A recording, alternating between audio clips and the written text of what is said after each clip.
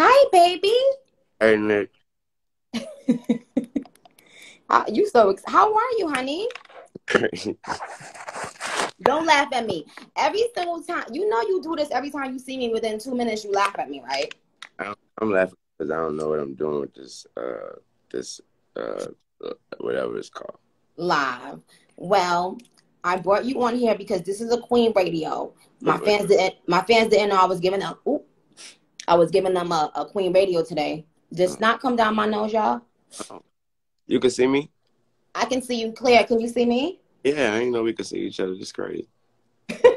he said, I know we can see each other. Yes. But listen, I, I'm giving my fans an impromptu Queen Radio because I have some news that I want to share.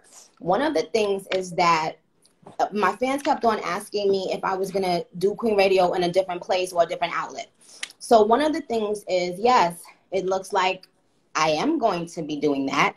And I'm really excited be- about it because I was able to be myself and, and on my terms speak and do whatever the fuck I want to. Now with you, everybody knows how much I adore you. I posted the complex list of best verses this year. And your verse on Seeing Green with me, you, and Drake, shout out to RapCaviar. Your verse on Seeing Green, um, won, I think, number five verse of the year so far, Wayne. Number five. They did like a, a countdown, I think, of a hundred or twenty. I don't remember. But yours, um, Drake, don't don't move. You better stay right there because you know you up next. Drake Drake is commenting on on, on the live tune sheet. I don't Uh, anyway, so so your verse on Seeing Green won number the fifth best verse of the of the year so far. That sucks. wow, because not one.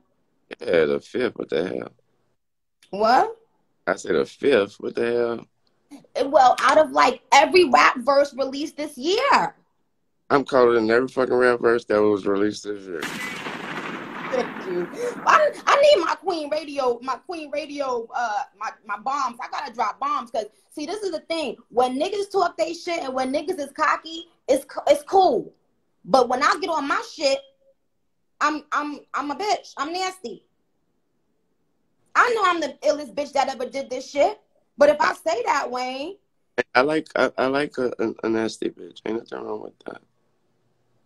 I'm sorry. Good.